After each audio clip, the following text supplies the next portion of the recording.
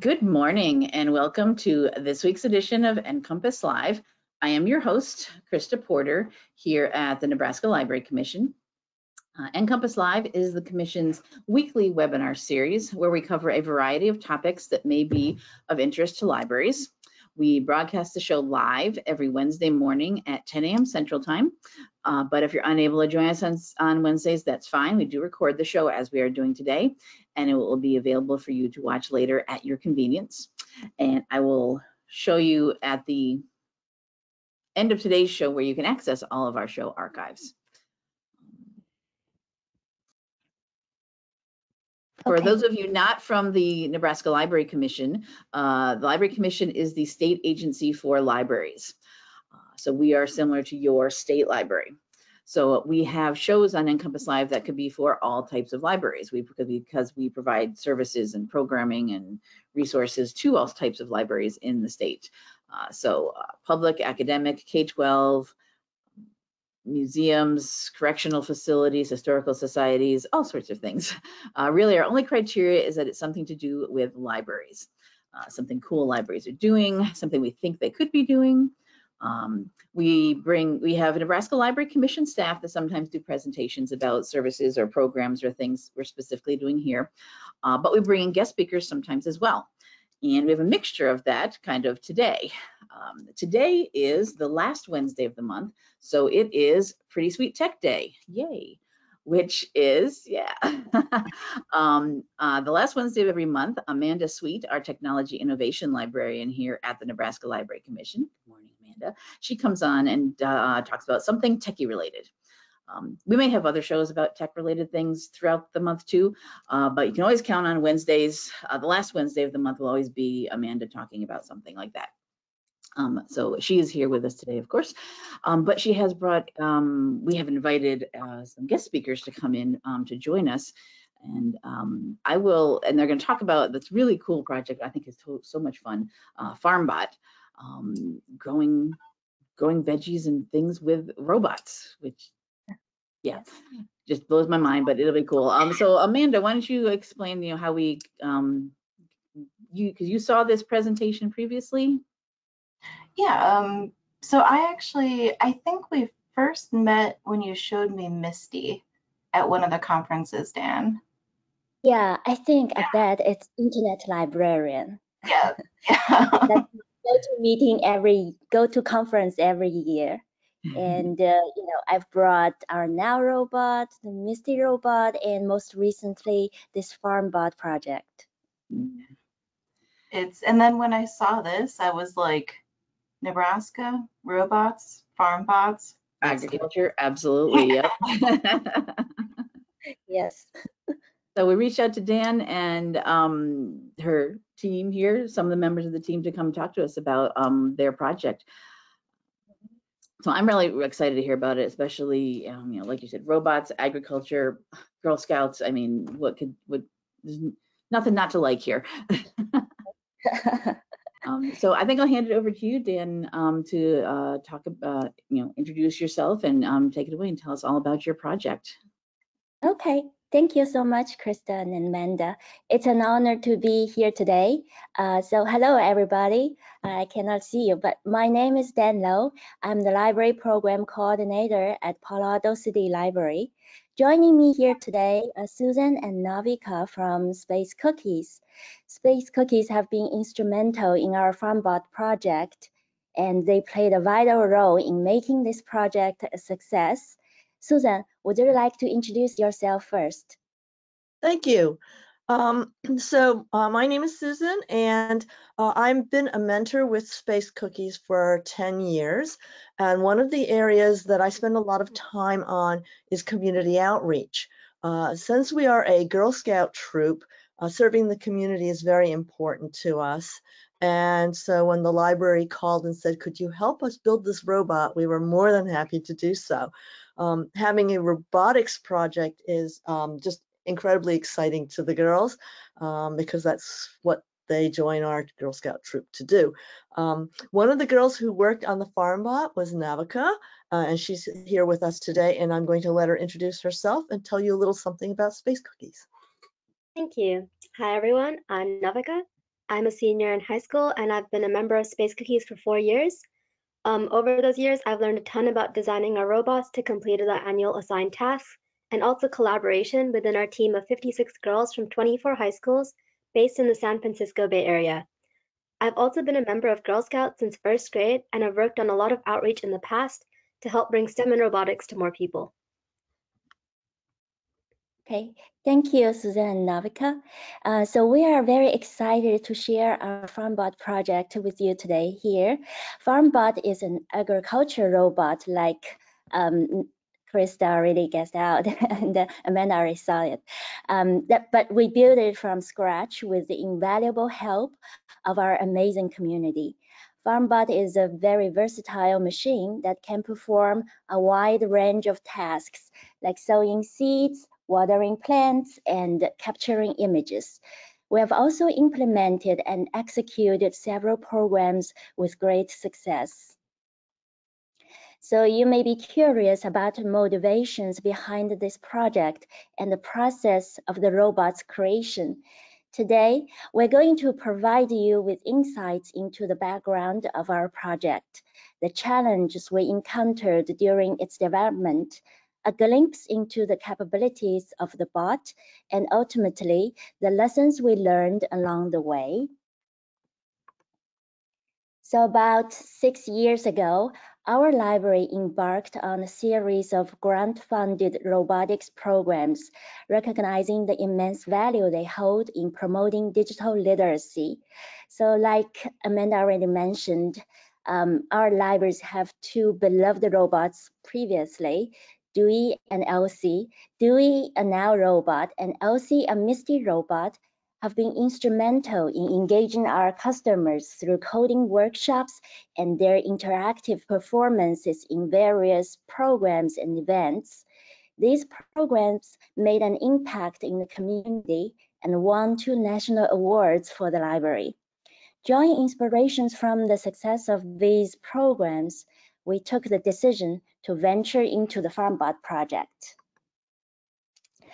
So just before the onset of the pandemic, we submitted a proposal to the Pacific Library Partnership, outlining our vision for the FarmBot. Recognizing the uncertainty ahead, we meticulously planned for various scenarios, including the worst case scenario of having to build a bot using our in-house talent. Fortunately, the Pacific Library Partnership shared our enthusiasm and commitment to this project. They graciously sponsored our initiative with an innovation grant, allowing us to bring our vision to life. To capture the essence of this project and its significance within the library community, we named it Harvest at the Library.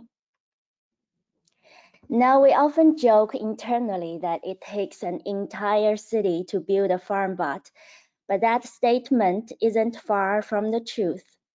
Throughout our journey, we have received tremendous support from various city departments, especially during the challenging times of the pandemic. The Mitchell Park Community Center graciously offered a home for the farm bot, providing a dedicated space for its operations. The fire department played a vital role by conducting necessary fire inspections to ensure safety protocols were met for this project.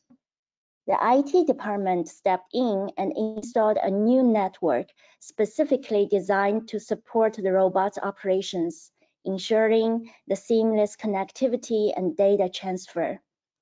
Additionally, the Public Works Department played a crucial role in providing essential access to electricity and water, enabling the farm bot to function optimally.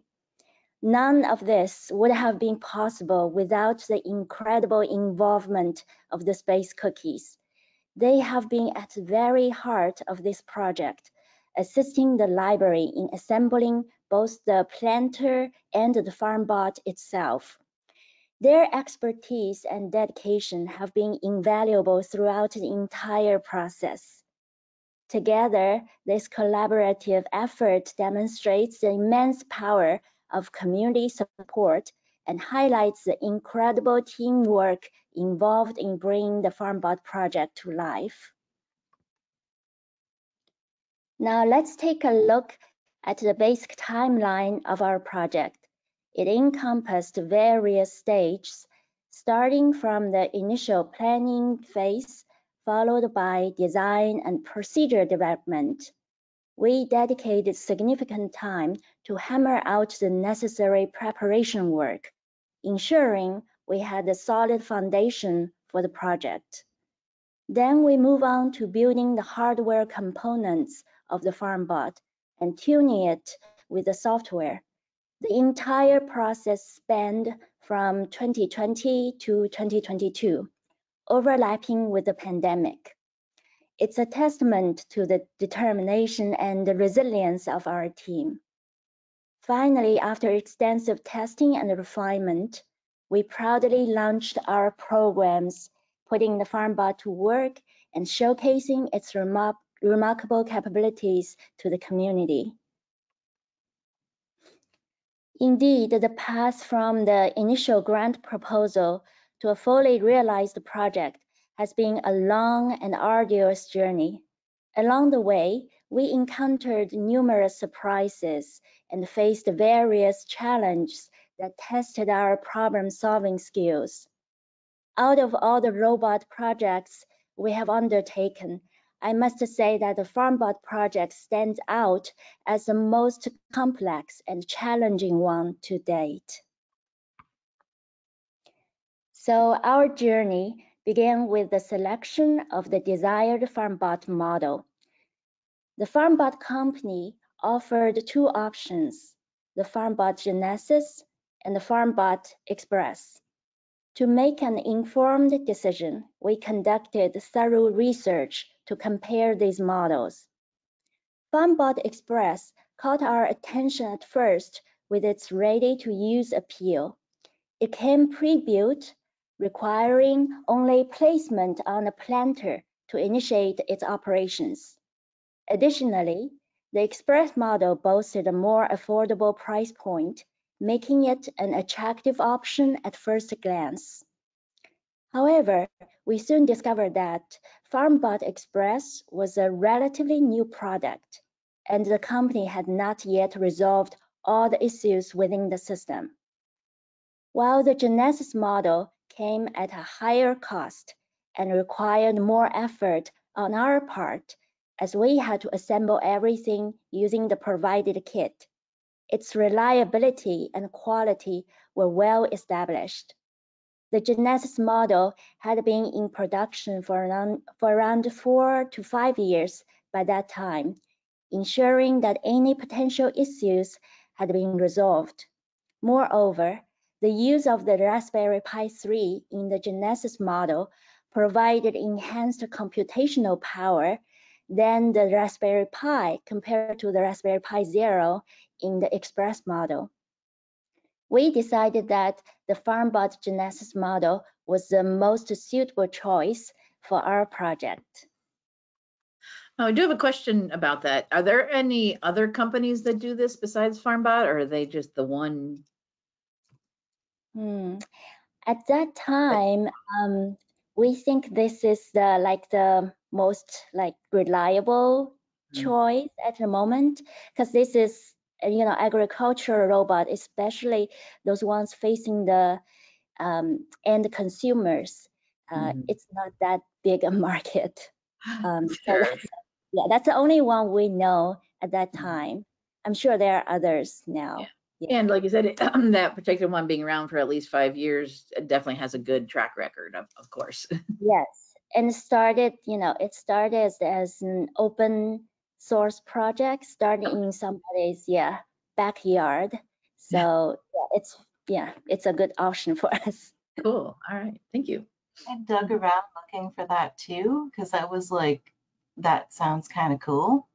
And I found some like instructions on instructables from people who put stuff together.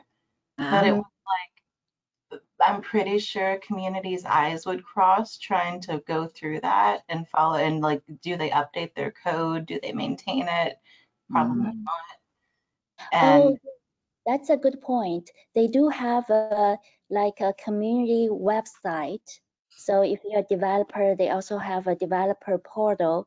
So people are sharing things they do with the FarmBot or issues they, they run into with FarmBot on those platforms. And it's open to everyone. Like, and that's why I love that slide where you had the who's involved section on there. Cause it's Oh. like most of those robot teams for the, those like tech gadgets, they only talk about the design processes of the robot itself. But I Mhm. love how this actually digs into everything that it takes and like all the different teams and subgroups that need the input and how to find alignment across all of them. And Yes. it's like, you go FarmBot. That's actually very a very time consuming um, process because it happens, you know, right at the moment pandemic was taking on. So Mhm. it takes more longer time. And I have to give, you know, credit to the Pacific Library Partnership, some credits again, because usually their their grant period is only one year. But due to the pandemic, they graciously offered us more time to working on it. Nice. Awesome. The one Right. good thing that did come out of the pandemic. Yep. okay, I'll move on to, okay, continue. There. Okay, so um, unlike the other robots we have at the library, FarmBot requires a dedicated and secure physical space, as well as reliable access to internet, water, and electricity. Initially, we had planned to utilize the outdoor yard on the second floor of one of our branches. However, after conducting building inspections, it became evident that uh, that location is not ideal. So fortunately, the community center stepped in and great, uh, generously offered us a location that met all the necessary requirements. This new location happened to be right next to the library. This kind gesture from the community center provided us with the perfect environment to house and operate the farm bot. Now, the next crucial step was to find a suitable planter that would seamlessly integrate with this robot. Researching the elevated planter market, we discovered that the available options were quite limited. However, we managed to identify a VeggieChuck planter that stood out as one of the few viable choices. This particular planter met our criteria in multiple ways. It provided ample space to accommodate the minimum size requirements of the farm bot, appeared sturdy and durable, and featured flat sides and a level top surface devoid of any decorations. These design characteristics ensured an ideal surface for the farm bot to sit upon. In addition to selecting the planter, we also recognized the need to plan ahead for the procurement of soil and seeds. Now, I would like to pass the baton to Susan and Navika, who will share their valuable insights and experience with you in the upcoming few slides. They are the heroines of this project, and I'm excited for you to hear from them firsthand. Thank you. Um, can you hear me? Yes. Yes. Okay. All right. So um, no one at uh, Space Cookies had had any experience with the FarmBot before this project. So um, we we're all really learning by doing. Um, and on top of that, we had the challenge of trying to execute the FarmBot during COVID. Uh, so before expanding on that particular topic, uh, let me mention something about that planter base that Dan just showed you. For the space cookies, the team builds its robots from metal and hard plastics. So building the wooden planter was a fun new experience for the girls. Um, we just rarely do anything with wood. Um, and the long sides of the planter needed to be pairwise level. So they had to be completely level and they had to be um, level with each other. Uh, and the reason for that is because the overhead mechanism on the farm bot um, is completely rigid and it runs up and down the length of the planter. So if the two sides of the planter weren't perfectly level with each other, then you would get twisting and warping and the mechanism would break. Um, so we spent almost an entire session making sure that the planter was properly constructed. So the construction of the planter was relatively easy, but then we had multiple levels out there and we were just trying to test all directions to make sure that the planter was going to um, not warp on us. Uh, and so far it's done a pretty good job. So it was a very sturdy planter that we picked. Um, so next slide. Great. Um, so before we uh, even started this project, we had to plan for everyone's safety. Um, as uh, Dan mentioned, um, we worked on this project in the spring of 2021. Um, so COVID had been going for a while and um, we wanted to get this started and not wait because we didn't know how long the pandemic would last. Um, but at the same time, we wanted to make sure that everyone was safe. So we did a couple of things. One, we built this entire farm bot outside. Um, so luckily, California has nice warm weather. Um, and the area that the community center gave us had an overhang, so we could build it in the shade um, and it didn't rain. So we did build this thing outside. Uh, Dan had all the materials in her office and she would bring them out on a cart every single time. And we would, uh, she and I would coordinate in advance sort of how many pages of the manual we were going to try to accomplish each session. Um, and she would try to guess which pieces we needed, but um, usually everything just came down and then we would sort things at the beginning of the session. Um, we limited the uh, work groups to four girls on site and two mentors and Dan. Um, we uh, uh, had extensive COVID screening um, to make sure that everyone was well and wasn't having any symptoms. Um, and uh, back then we were all wearing masks outside. Um, we made the decision to actually purchase extra sets of tools. So the FarmBot came with a set of tools um, that were all you needed in order to build the FarmBot, but they only sent one set. So uh, we purchased three more sets so that the girls would each have their own set, uh, sanitized at the beginning, um, and then uh, we wouldn't have to share any tools. Um, also, the mentors brought their own power tools with them so that um, we didn't have to share those either. We worked on Sundays, which is when the community center and the library are both closed.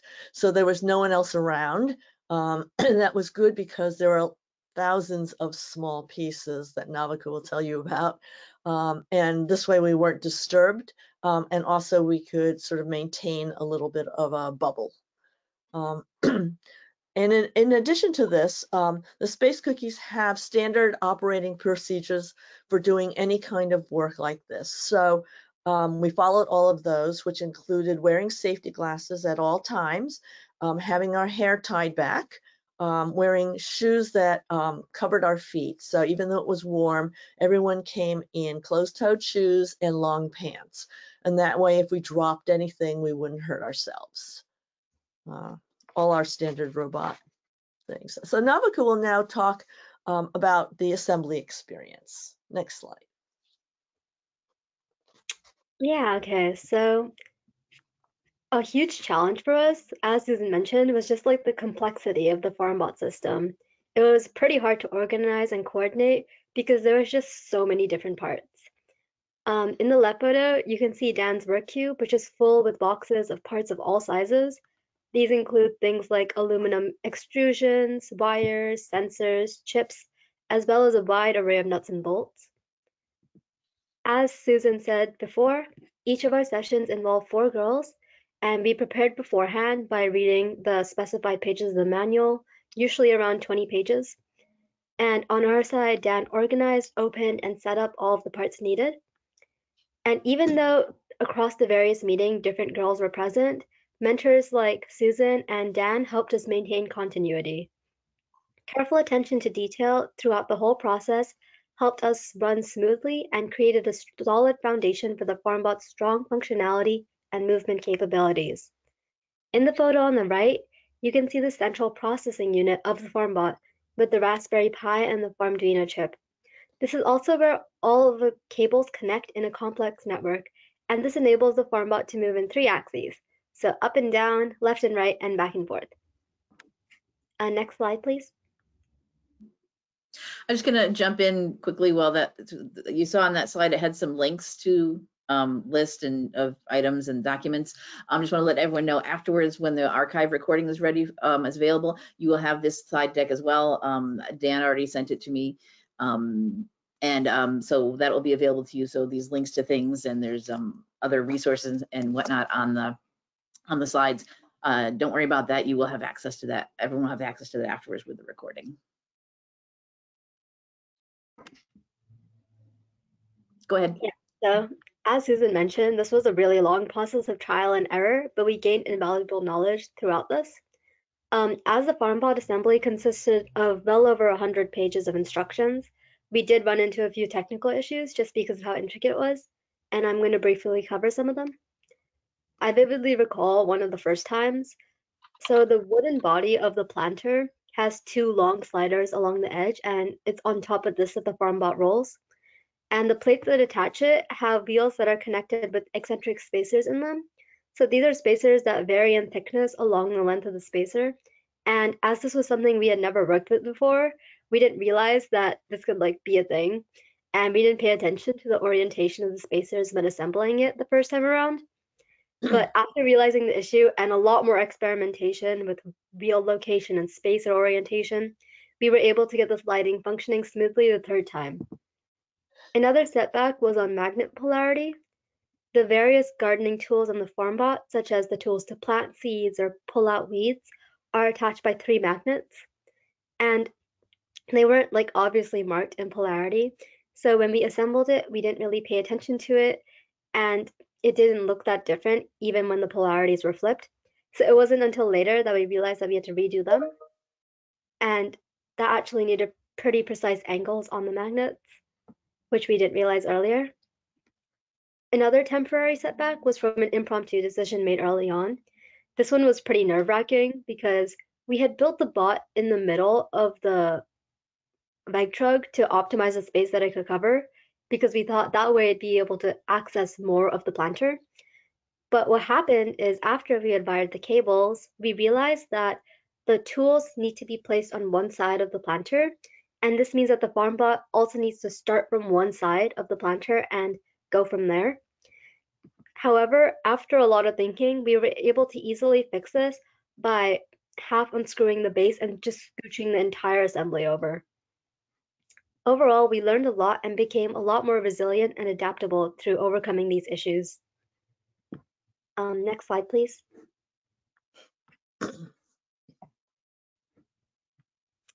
So on the assembly side of things, in less than three months, we successfully completed the assembly phase and proceeded to set up the software environment for the FarmBot. In the picture on the left, you can see just how many steps and sub-steps this process included. So this is getting kind of redundant, but we did run into a few more setbacks, which we had to identify and overcome. Um, so one of our first experiences with this was when the gantry of the FarmBot would like come down towards the planter, and then it wouldn't go back up. So we contacted tech support after suspecting that the motor either lacked power or didn't work properly, but they recommended the mechanical fix of applying graphite lubricant. However, when we tried this, this didn't help with our issue.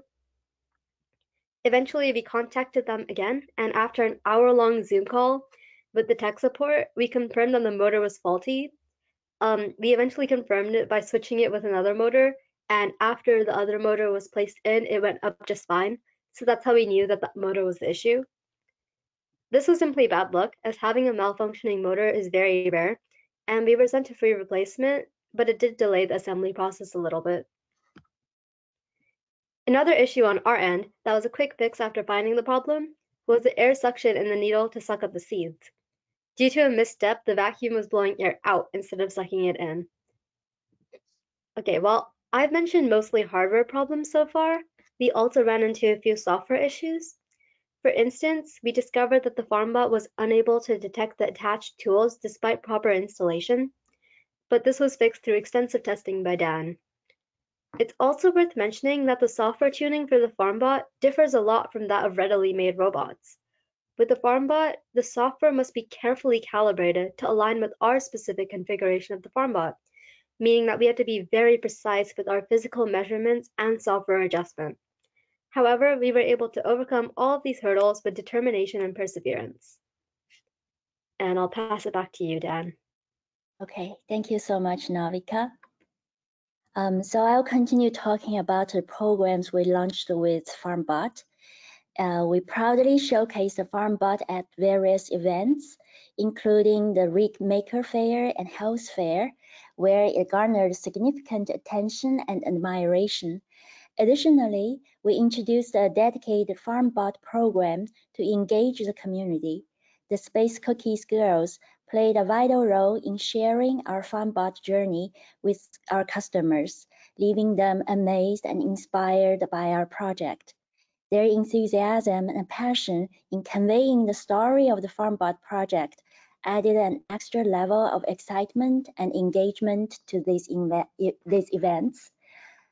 Now, despite our best efforts, FarmBot encounters occasional hiccups during demos just like any other technology. Similar to experiencing laptop malfunctions or app glitches on our phones, FarmBot can sometimes act up too. While the watering function has proven to be quite reliable, we did encounter an unexpected incident during a test run when the water pipe unexpectedly popped. Fortunately, there were no customers present at that moment. We quickly improvised a solution by using cable ties to secure the water pipe in place, ensuring that such an incident wouldn't occur again. And we also run into many other uh, glitches during demonstrations. Story of my life. Um, so because the projects you know, started during the pandemic, we also curated a dedicated YouTube playlist to make our project visible and accessible to more audiences. This playlist features videos that showcase the process of building the FarmBot, as well as demonstrations of how the FarmBot operates. By creating this playlist, we aim to offer a resource for anyone interested in learning more about the development and functionality of the FarmBot. I'm going to play this four minute long video. Uh, this video showcased uh, you know, how the space cookies helped building the FarmBot, and we will have the chance to meet more space cookies girls who who helped with the project in this video. At Palo Alto State Library, we recently built an agricultural robot FarmBot. This is the first time that I have built a robot from scratch, and the project showcased our community's talent, creativity, and spirit. Hi, we are the Space Cookies, FRC Robotics Team 1868 and Girl Scout Troop 62868. Our lab is located at the NASA Ames Research Center in Mountain View.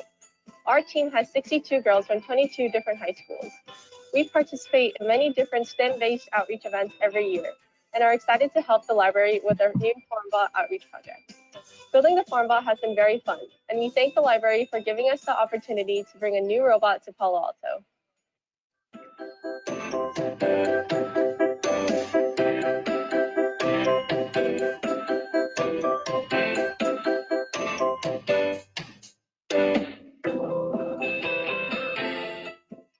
Um, my name is Anjali and I worked mostly on the moving components and the wheels of the FarmBot. And one challenge we faced was that the wheels here were not moving as swiftly as they could on the FarmBot and they were getting stuck in the treads. So how we fixed that is we used a type of washer called an eccentric spacer. And this is a type of washer that is different lengths at each angle of the spacer. And it let us adjust the length so it can move swiftly along the track instead of getting stuck. Uh, so the eccentric spacers work uh, by having different widths and different thicknesses on each side of the spacer. And that lets the wheel sit higher up or lower down uh, based on how we adjust it, which lets us move the wheels along the track more smoothly.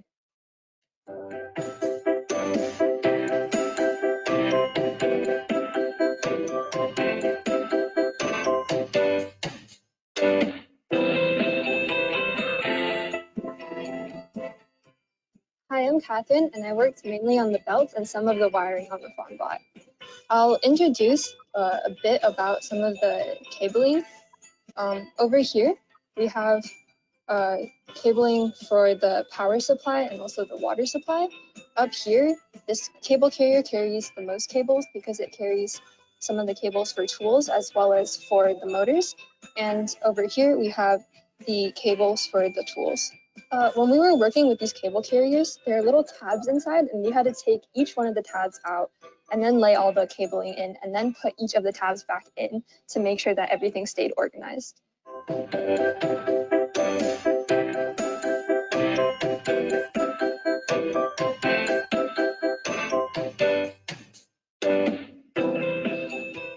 Hi, my name is Paige, and I mostly worked on the planner blocks for this FarmBot project. One uh, problem we faced during this project was keeping the wires inside the electrical box organized. And one way we overcame this challenge was to use foam spacers inside the box that would keep the wires evenly spaced and neatly organized.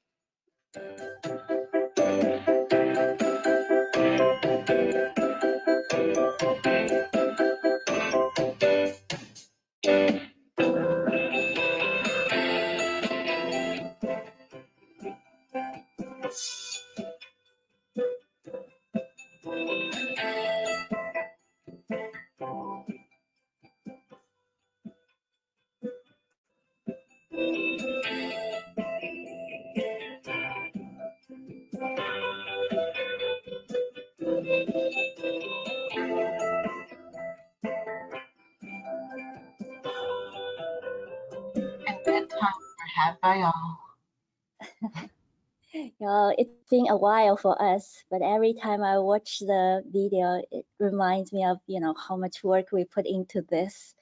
And it's, I like the last screen and also give shout out to our, to the other mentor at Space Cookies, Michael here.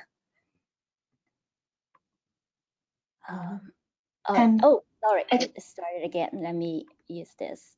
Okay, so aside from the, the video we just watched, I also highly recommend this video in our playlist. This is a very short but incredible time-lapse video showcases the entire journey of a carrot's growth from seed to harvesting. Over a span of six months, the FarmBot diligently captured 160 photos, which have been compiled into this visually stunning video. I'm going to play it. It's only 20 seconds long. Definitely, I want to, definitely Yeah. want to do that one. So when you when you watch uh, when you watch the video, I would like you to pay special attention to the far left side um, of of the video, because uh, it showcases you will witness the mesmerizing dance of a carrot as it sprouts, flourishes, and matures in the soil. And, and this unique perspective reveals the fascinating dynamics of vegetable growth that may have previously gone unnoticed, at least to me. Uh, I, I never know carrots dance when they grow. Let's watch it.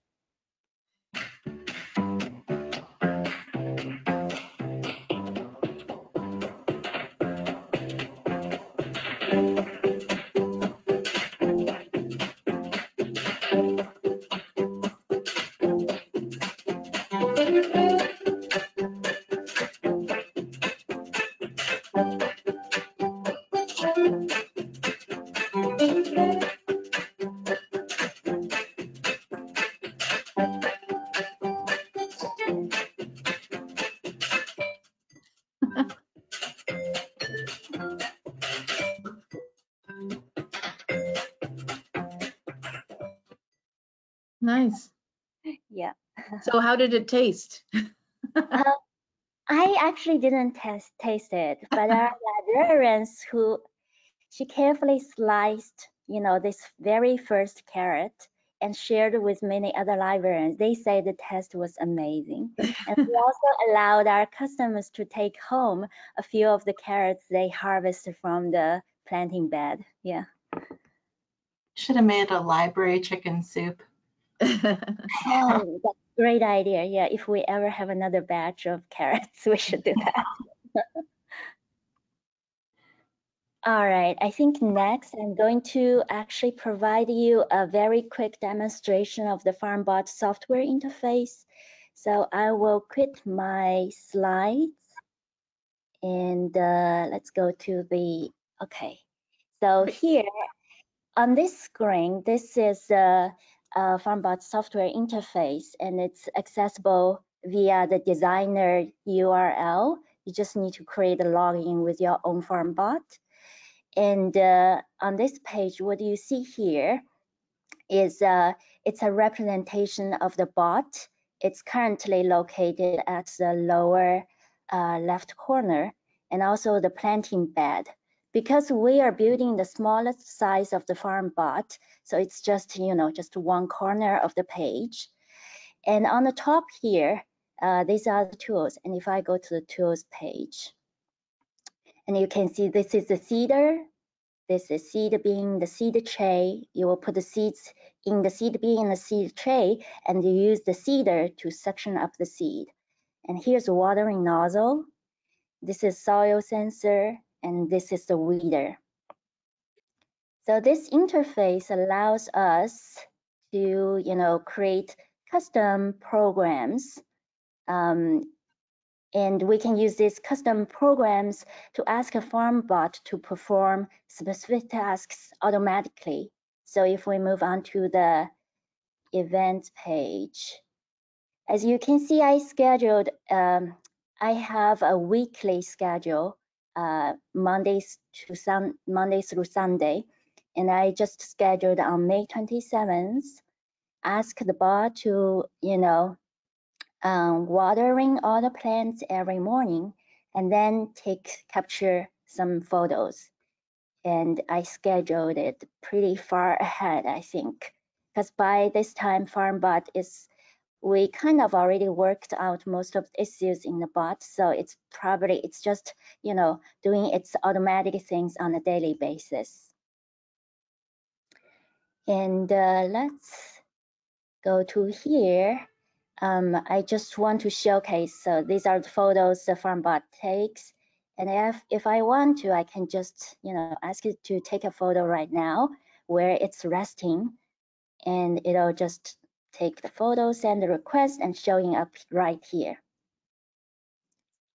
All right, let me go back to my slides. All right. Okay, and I'm going to pass on back to Susan and Navika again. Thank you. Okay, so what we learned. So as we're robotics team, usually we design our robots for our annual competition. So this was a really unique opportunity for us to witness the design and manufacturing process of commercial robots and also learn a lot of valuable engineering tricks. Um, one of the ones actually turned out to be directly applicable to a robot.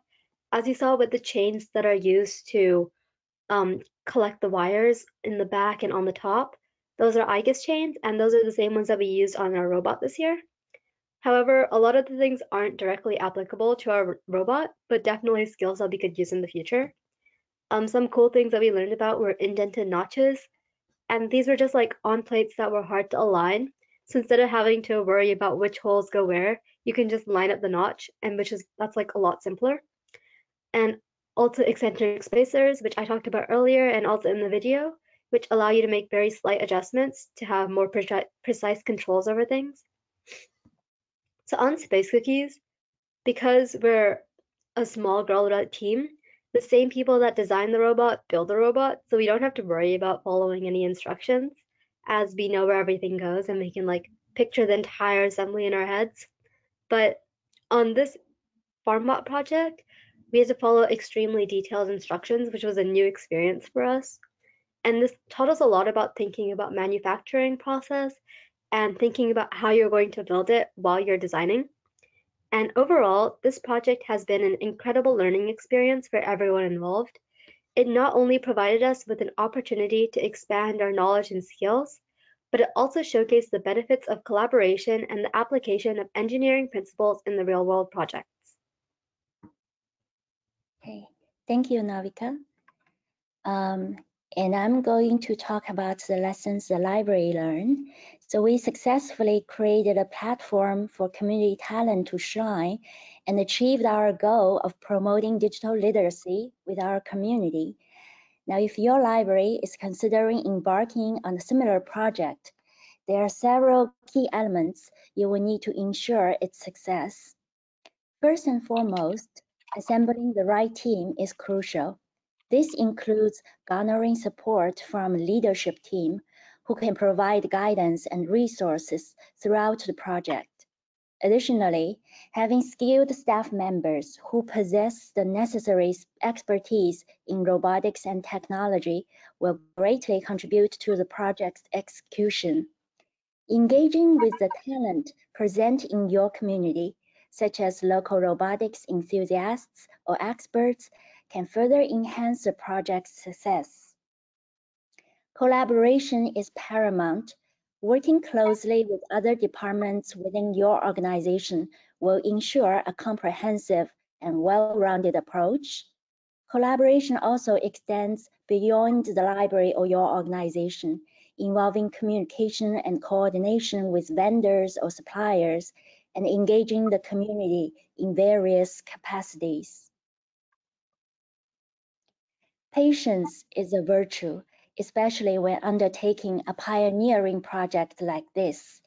It's important to remember that unforeseen challenges and uncertainties are bound to arise along the way. Embracing patience allows you to navigate these hurdles with a steady approach, learning from setbacks and adapting your strategies as needed.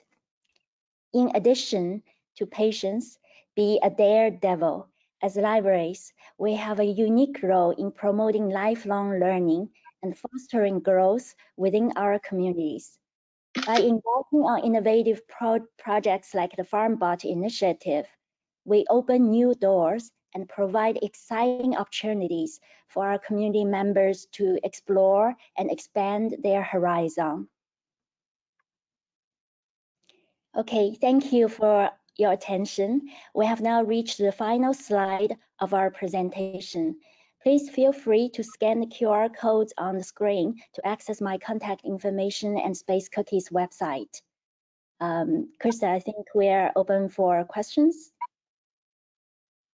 Yes, absolutely. Um, yeah, all right. Yeah, go ahead and keep that slide up for now. Um, and Mhm. we'll see uh, what people have questions about and if they want to look at anything else. Um, yes, if anyone does have any questions, go ahead and type into the questions section of your GoToWebinar webinar interface. Um, I'm monitoring that here. Um, and we will ask our presenters anything you are interested in. This was, uh, I was very excited about this session. Like I said, it's very fun. Um, seeing how it works. I I I love robots and robotics. I'm not good at them. I've never really tried much with them. um, so I'm very impressed, uh, Navika, with everything you and your your teammates have done on on this. Things that I could never have even thought of. But it's just so fun to watch it and and see see it work. Um, And in the chat, I also um, I found the origin story of the FarmBot, and there was an updated version of it that just came out in August of 2022. And I found like a reference to a curriculum. And I was wondering, did that curriculum exist yet when you started this project? Uh, let me open that. I'll put a link to the curriculum I found too. It Uh-huh. looked like it's super new, so it might have actually just come out since that article came out too. Um, yeah. Oh, oops.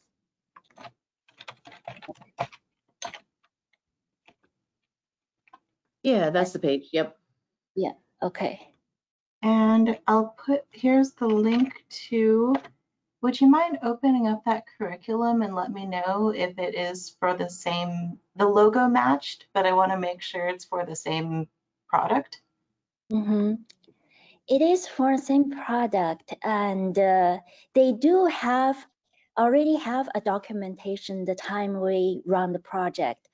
However, um, if you go into the detailed levels of um, assembling the farm FarmBot, especially in our case, we are assembling the minimum size of the farm FarmBot. So there are certain steps in the documentation. It's just for the regular size. And we have to, yeah, we have to customize the documentation and customize it a lot in our needs.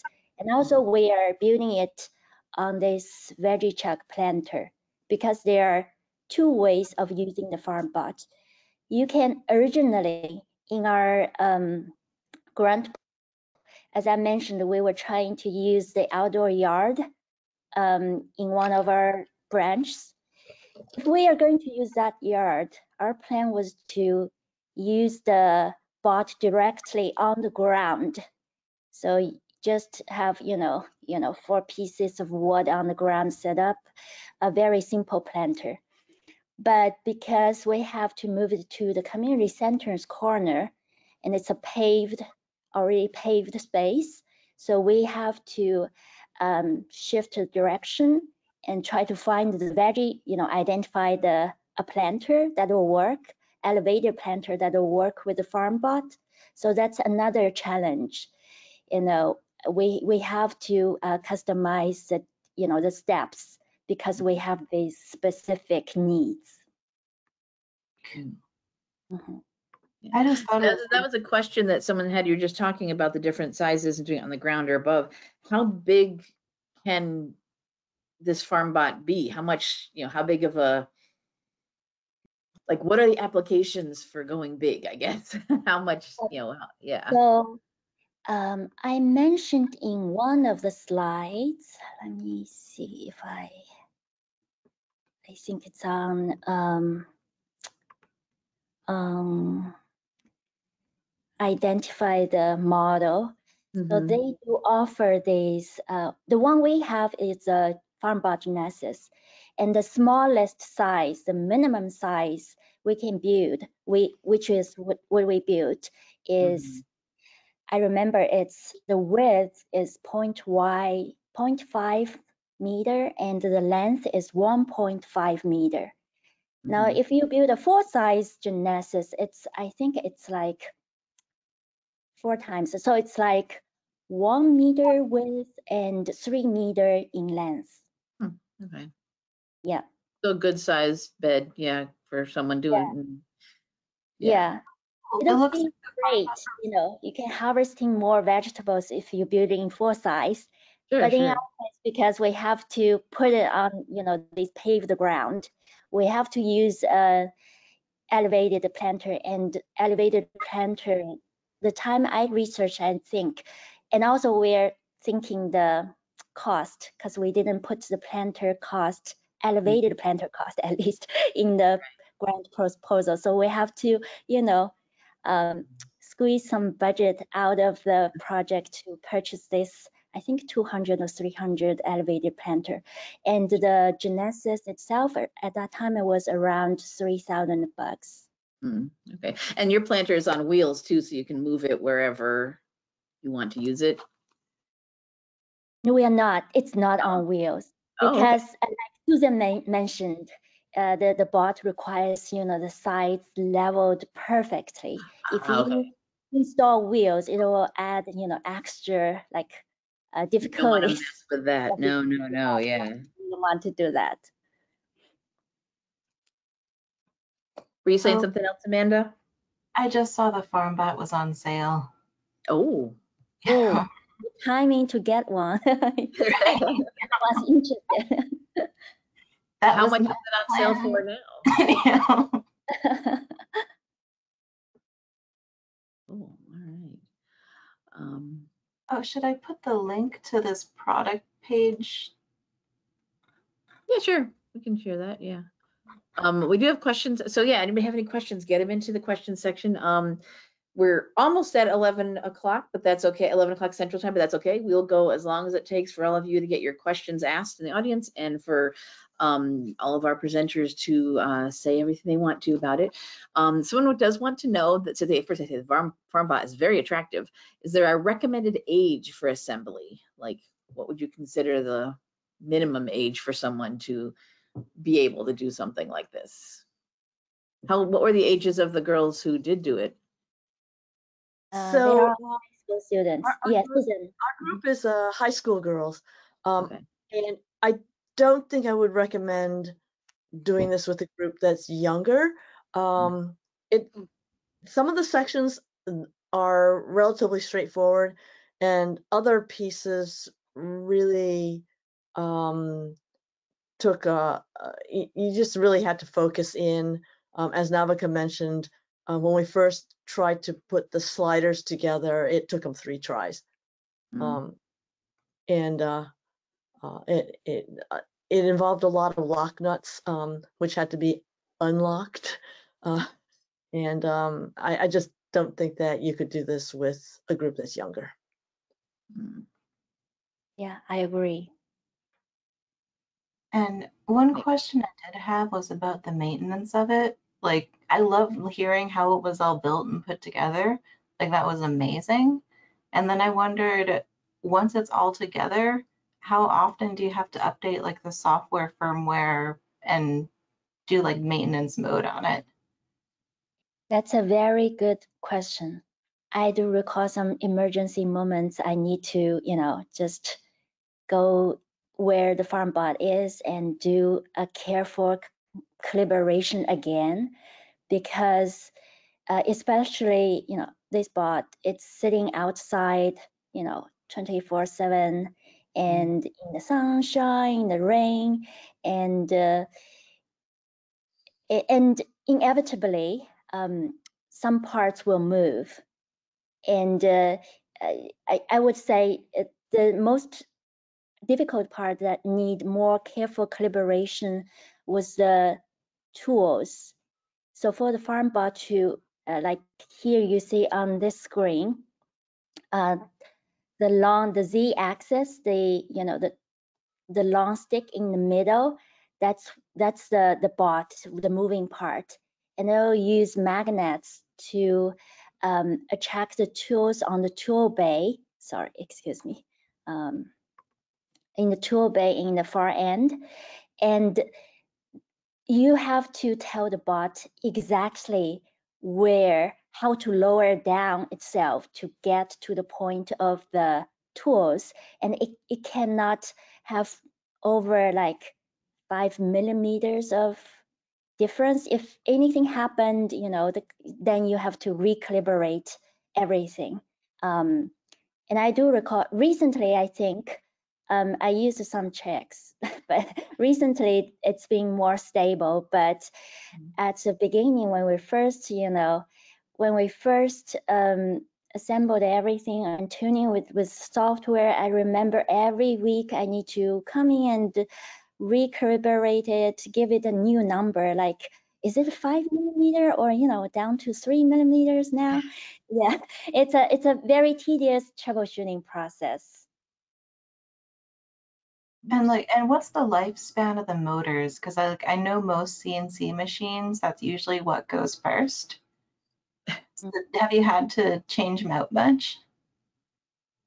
The motors, uh, except you know during the assembling process, Susan, we discovered the malfunctioning motor, and they sent in the new one. Um, otherwise, it's been functioning. The motors has no problem at all. For all these years, it's been functioning. It's still, um, I think it's still pretty in good, in pretty good shape. Lucky. yes, or or yeah, or you can say we're lucky. yeah. We had a C like CNC machine that had to get the motor changed out like almost every year. Wow. So that was either just like bad parts or just like bad Mm. luck. you know? Amanda, uh, interesting you mentioned that it's not the farm bot, but our NAO robot does run into motor issues. It has two legs. If you, I, I don't know if you ever recall, um, and it'll do dances, but then, you know, the legs, the motors on the leg just couldn't sustain for a very long time. Mm. Yeah. hmm These hardware, you know, we got the robots and you know the hardware part. It's it's it's it will never last forever. yeah. Of course, of course. and uh, I most recently, actually, you know, FarmBot was our last year's, like we concluded last year. So most recently, I was- working on another um, POP grant project. We call it Light Up Your Library, and it's a Jones program. And uh, we were using those uh, DJI RoboMaster drones. And in the grant, grant proposal, I specifically mentioned, you know, uh, for the drones, it's the same case. It won't last forever, uh, but with, you know, people with knowledge of the drones. We're taking good care of it. We know what we're doing, what we're uh, scripting for the drones to perform. Um, maybe we can make them last for one to two years. Hmm. Because I have the DJI Tello drone set right now, and it's always the propellers that go first. Yeah, the propellers, they need to, the four propellers, they need to be, once they dropped, you have to put them in the, put them back in, in a very specific way because they have directions. If you Yeah. put them back in, in the wrong way, they won't work anymore. Mm. Those are the details. Are they Yeah. also maybe the most delicate part of the drone too? Yeah, if they, for example, the drone hits the wall and it fall down, then the propeller, one of the propeller will just fly out for sure. And you have to reassembling it back. I'm so familiar with it now. Yeah. In the grant, we have, you know, multiple uh, RoboMaster drones. It's very similar to the Tello drones. They are all both manufactured by uh, DJI. Last year, we also, because we are collaborating with the San Jose State University iSchool, so they provided us uh, a free telegen last year. We launched a program with it. This year, we were doing it with the RoboMaster drones. These RoboMaster drones, you can do a program a light show with them, and they will also flip forward, flip backward, doing group dances. The program was amazing, but uh, yeah, it's just the hardware. It's very tricky. Yeah. Mm-hmm. I feel your pain. You know? All right, so this um project that you're doing here of the the farm bot is this, you know, you said you had a grant to get this going. Is this now an ongoing project program? Is it, um what is is there an end? I mean, you say you have those still those other robots you're still doing things with. Is this going to be, you know, what's the plan forward with this? That's a very, very good question, Christa. And I don't have a very good answer for that, unfortunately. So, yeah, like I mentioned, the robotics programs we have at the library, I think all of them so far we've run, it's all sponsored by uh, grant and grant has their grant period. Most of them it's like one year.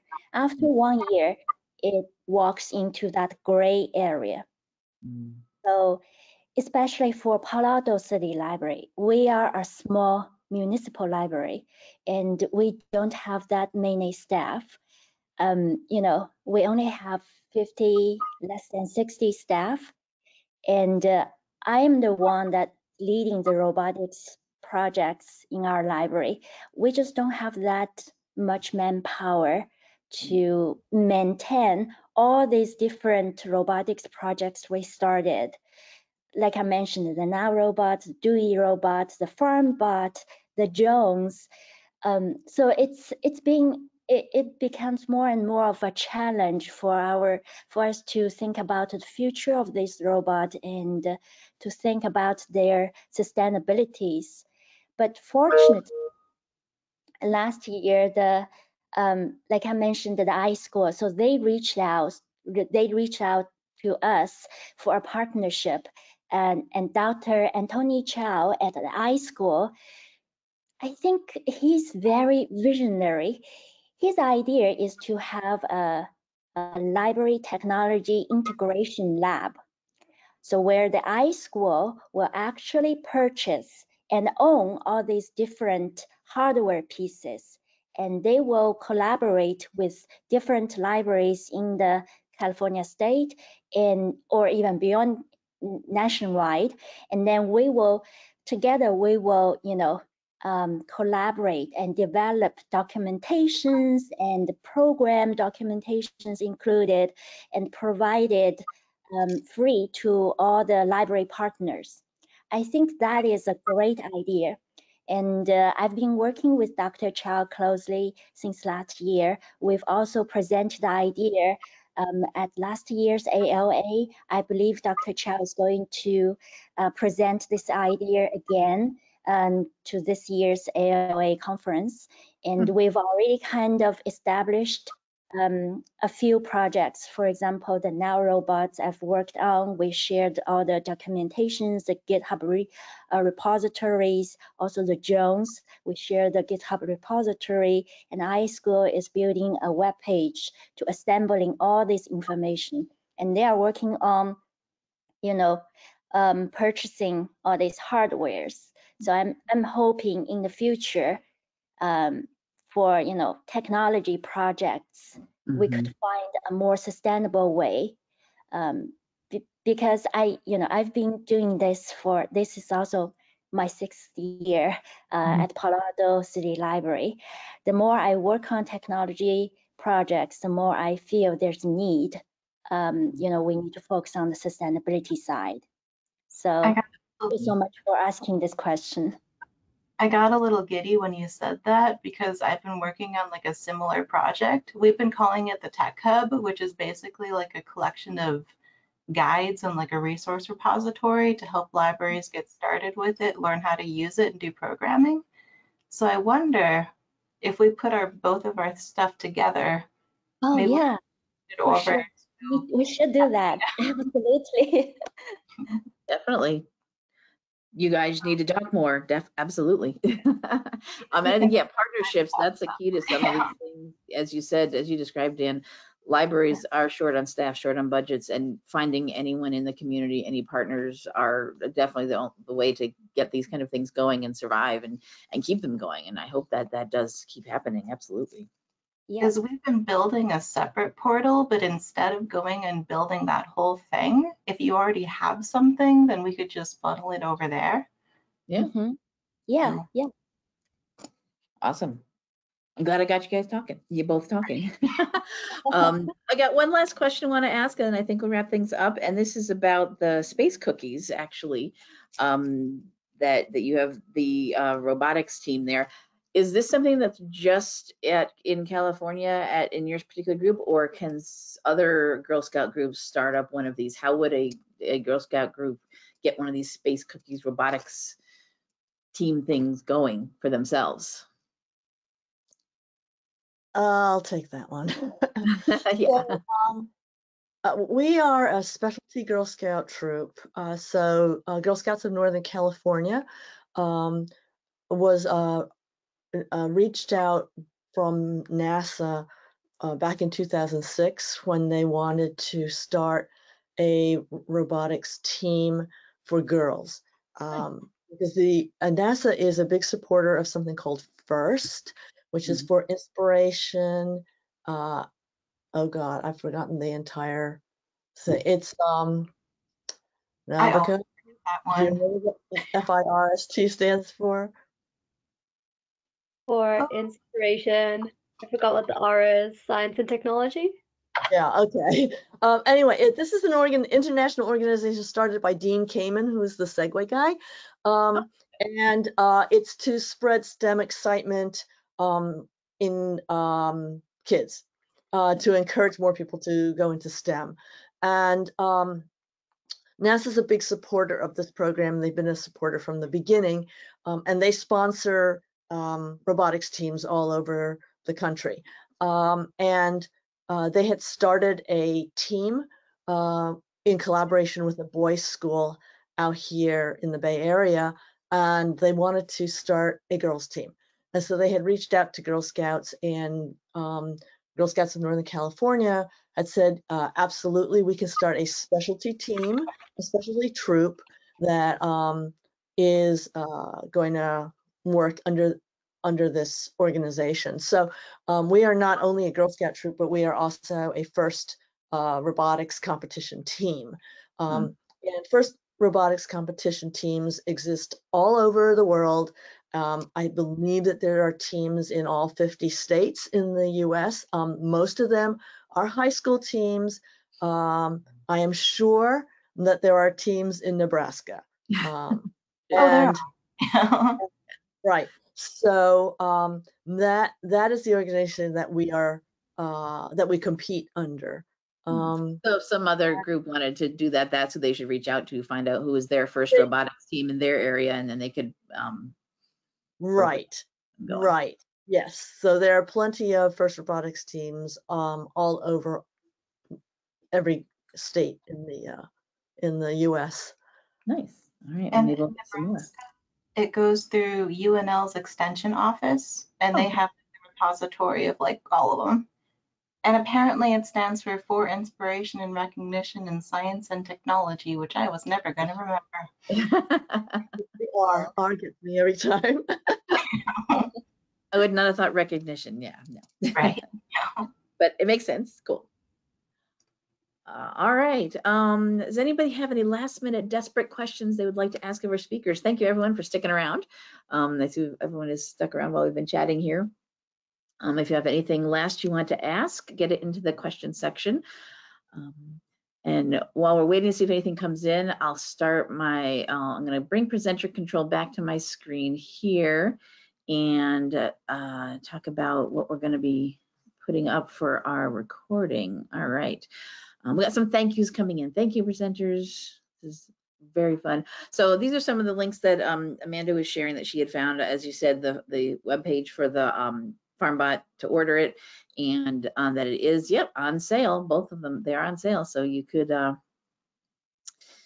get either the smaller one or the XL uh, if you wanted to uh, at discount prices. And they've got the FarmBot Expresses. Are these on sale too? Yeah, everything's on sale. Yeah. So um yeah, so when I um do I'm going to put up the archive for this, I will put links to all these things that um we have here.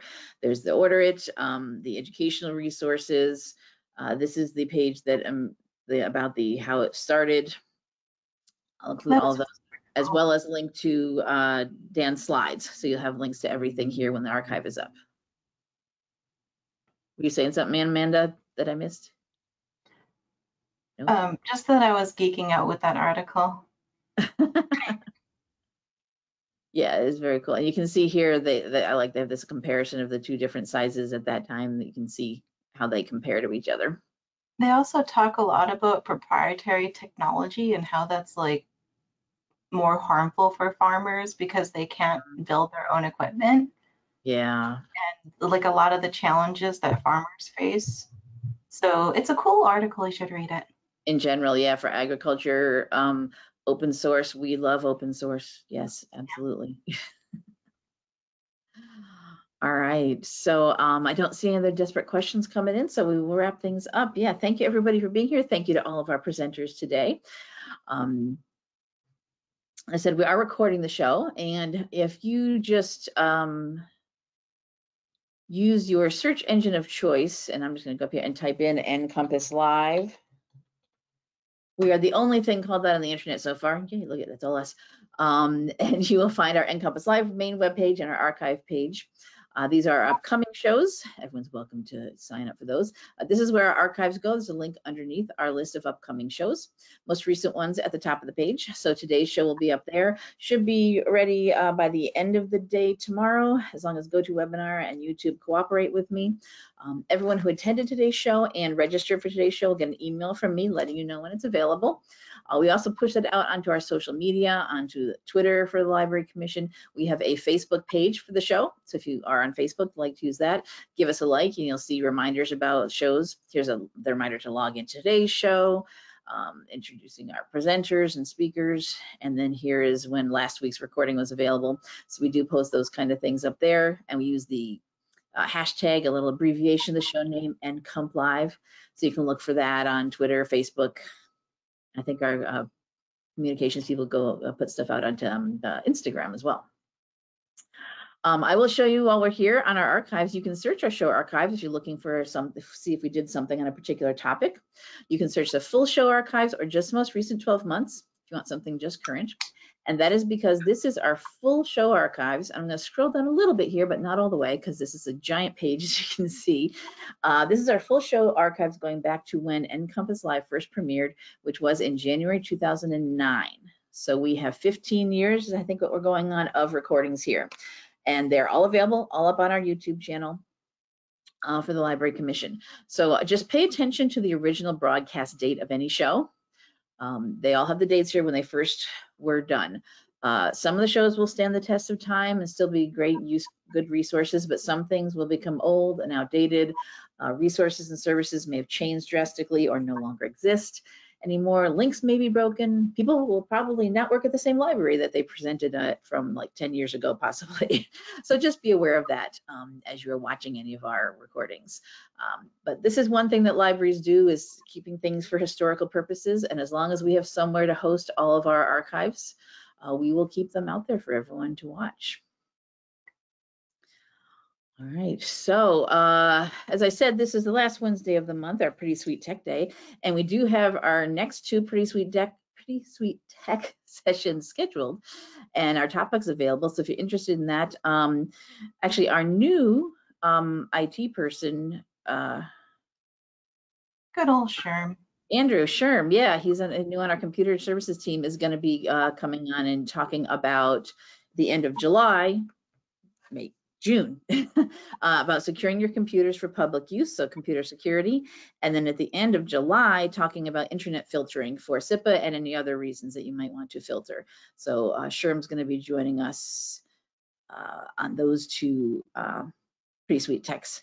And you can see all of our other shows coming up. We are fully got all our shows up here for the summer. Um, uh, I'll start working on August a little later.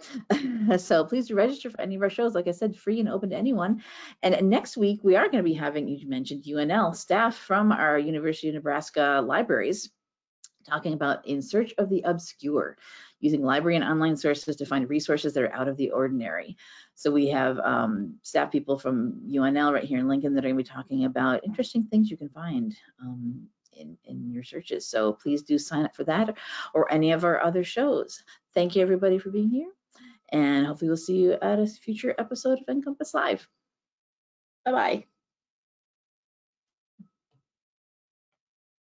And Dan, I'm going to email